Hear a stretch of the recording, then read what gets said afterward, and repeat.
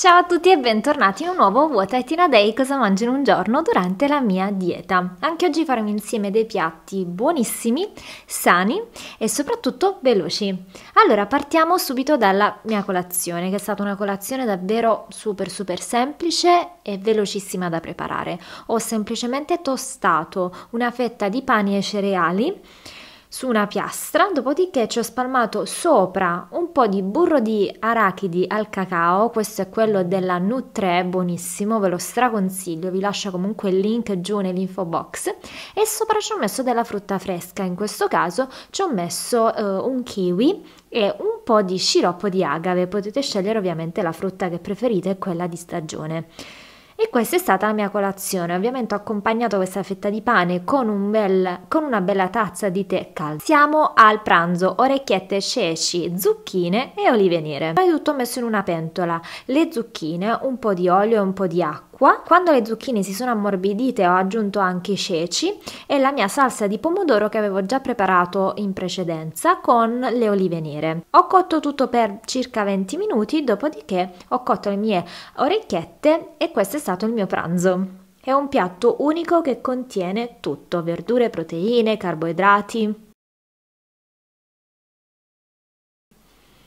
Passiamo allo snack, il cupolotto a riso soffiato con cuore di marmellata e yogurt. Buonissimo, dovete assolutamente provarlo. Allora, facilissimo da fare.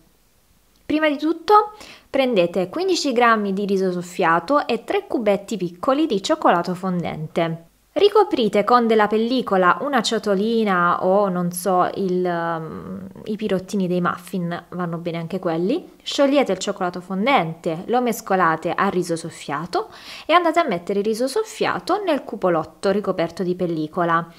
Andate a ricoprire tutti i lati e lasciatene un pochettino per il fondo. Al centro di questo cupolotto ci vado a mettere dello yogurt bianco, meglio se yogurt greco perché è un po' più solido rispetto allo yogurt normale e al centro un cuore di marmellata oppure magari crema proteica, quella che preferite. Finisco di ricoprire con il riso soffiato che ho messo da parte, vado a chiudere con la pellicola e vado a mettere in frigo per circa 10-15 minuti fin quando si solidifica per bene. Ed ecco il mio cupolotto. Alla fine ci vado a mettere sopra un po' di crema proteica, questa è mandorle e cocco ed è la nuova crema proteica vegan della marca sempre Nutre. Devo dire che è buona, è molto cremosa, però il cocco si sente poco. Avrei preferito che si sentisse un pochettino di più. Comunque se siete curiosi, come sempre trovate il link, come vi dicevo, giù nell'info box. Provatelo perché è delizioso, buonissimo sarà uno dei vostri snack preferiti. Passiamo alla cena, una cena molto leggera, petto di pollo alla piastra con finocchi e arancia. È davvero un'ottima accoppiata, ci sta veramente benissimo la carne insieme all'arancia, provatela. Allora, prima di tutto ho tagliato un finocchio in maniera molto sottile, l'ho messo all'interno di una ciotola